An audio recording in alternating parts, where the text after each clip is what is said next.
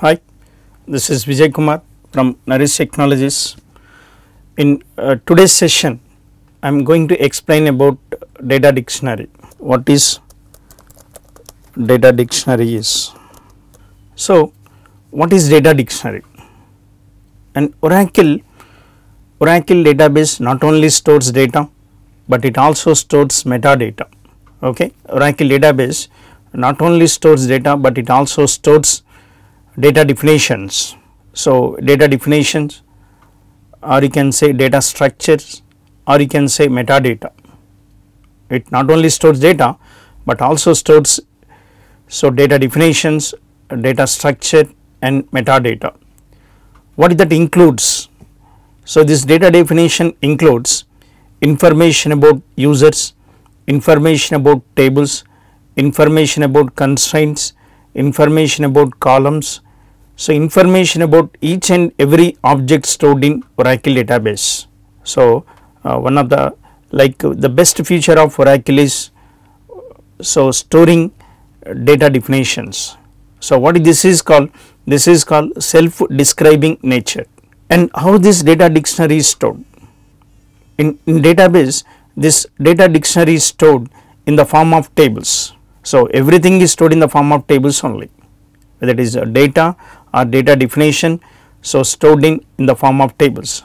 If something is stored in Oracle database, it is stored in the form of tables. So, these data definitions are also stored in the form of tables and those tables are called system tables or data dictionary tables. Okay. So, this data dictionary is also stored in the form of tables. Those tables are called data dictionary tables and system tables. Uh, like for example, suppose here there is a table. So, the table is called user underscore all underscore users all underscore users and what is this stores this stores information about uh, users. So, users users created in Oracle database. So, if you want to see the users list and go to all underscore users table. So, suppose I want to see the list of users created in Oracle database then I will go to this table all underscore users See for example, just see this describe all underscore users. So, what is this? So, when you describe this all underscore users, it is uh, showing the structure of this all underscore users table. It is showing the structure of all underscore users. So, in this one column is username, one column is user ID, one column is created, one is username, one is user ID, one is created. Suppose I want to see the list of usernames in Oracle database. So, like for example, there is a customer table in that customer name is there. I want to see the list of customers. Then you write a query like select a customer name from customers table. Similarly, I want to see the list of usernames. Then select username from all underscore users. Then see select username from all underscore users. What is this query gives? This query gives the list of users in Oracle database. So, one user is Scott, one user is HR, one user is sys, one user is system like it is showing the list of users in Oracle database. And what is this all underscore users is? This is data dictionary table. So, this is data dictionary tables or you can say data dictionary views. Okay. Then, so whenever you want to see the list of users then go to this table. Okay? Then so there is one more. There is one more. What is that is? User underscore tables. User underscore tables. And what it stores? It stores the list of tables created by user. So whenever you create a table so that information is copied to this table. User underscore tables so, this table stores information about uh, tables created by user. So, when any when when a user creates a table immediately that information is copied to this table. So, and this is also one of the data dictionary views or data dictionary table or data dictionary view. So, I want to see structure of this table. To see the structure of this table user underscore tables user underscore tables. So, what this is showing this is showing the columns of user underscore tables because when you describe EMP table it will show the columns of EMP table. Similarly, when you describe user underscore tables it will show the columns of this user underscore tables. In this one column name is table name. So, I want to see the list of tables. I want to see the list of tables. I want to see the list of tables created by user. So, then uh, write a query. Suppose I want to see the list of tables name starts with E then we write a query like this select table name from user underscore tables where table name like e percentage select table name from user underscore tables where table name like e percentage. So, what is this query returns? This query returns the list of tables created by user. So, there is only one table what the table is emp underscore load. So, this table name starts with e then and these tables are managed by Oracle like customer table, sales table, products table those tables are managed by users, but whereas this table is managed by Oracle. So, managed by Oracle means so uh, data inserted into these tables and the data updated and the data deleted so by Oracle. Oracle will insert the data and Oracle will update the data and Oracle delete the data from these tables. We cannot manage, we cannot manipulate only Oracle manages this table. So, uh, suppose when a new table is created a record is inserted into this table. When table name changes a record is updated. When you drop the table a record is deleted from this table. When a new, new table is created a record is inserted. When table name changes a record is updated and when you drop a table a record is deleted. So, that is why I am saying so this table is managed by Oracle, Oracle will insert, Oracle will update, Oracle will delete the data then. So, you cannot insert, you cannot update, we cannot delete. So, because for users it is read only. So, all the data dictionary tables, all data dictionary views are read only, we cannot manipulate them. There is one more user underscore user underscore tab underscore columns. So, what is this is this table stores the list of columns in a, a table. So, what is this table stores? This table stores the information about columns declared in a table. So, this stores information about columns declared in a table.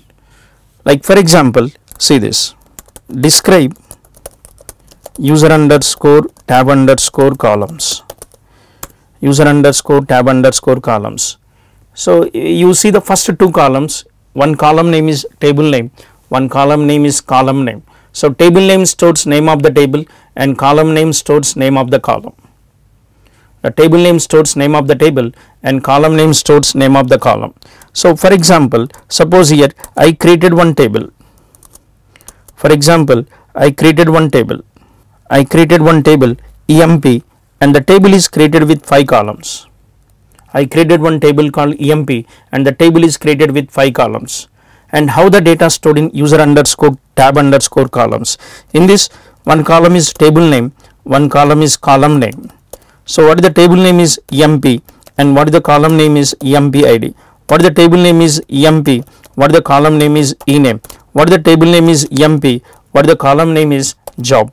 And what the table name is EMP, column name is sal. And the table name is EMP, column name is hire date. Something like this. I created one EMP table with 5 columns. So, the moment you create the table immediately the information is copied to this table.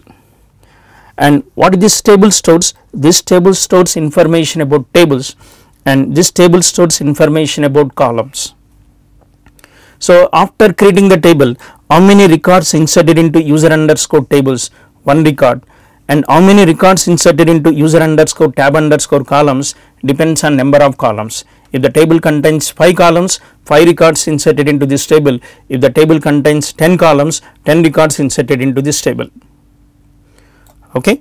So, this table stores information about columns declared in a table. So, what are these?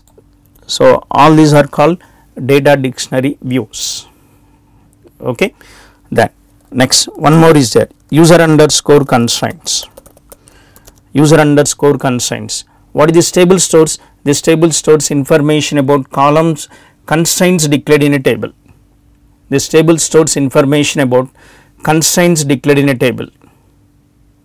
So, you create a table and in, in the table you declare primary key, foreign key, not null, check constraint.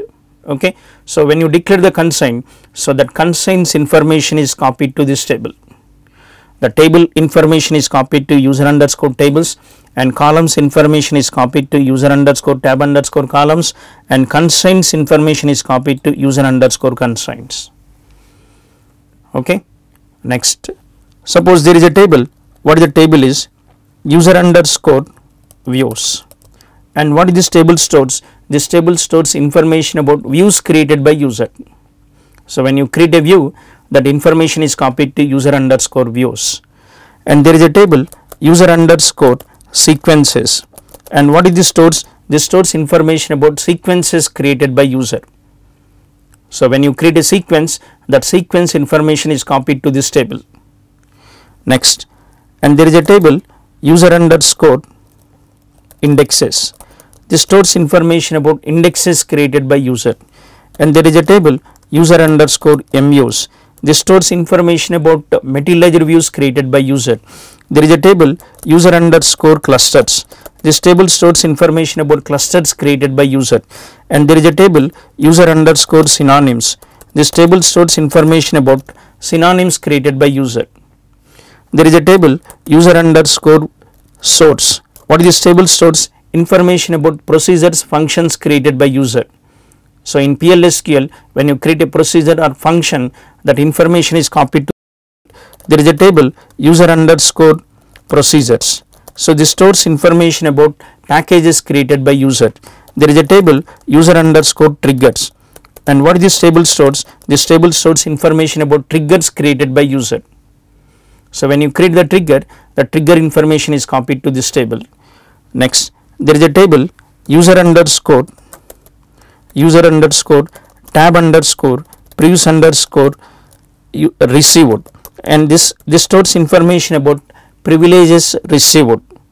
So, and there is a table user underscore tab underscore privs underscore made.